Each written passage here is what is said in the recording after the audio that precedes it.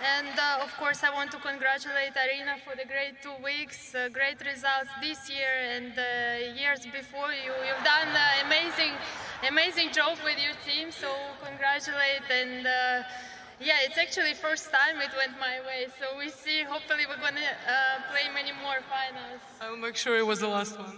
No, no, no, no, no. We see, we see next time. But yeah, uh, uh, it's it's been always a pleasure to play against you, and always toughest battles.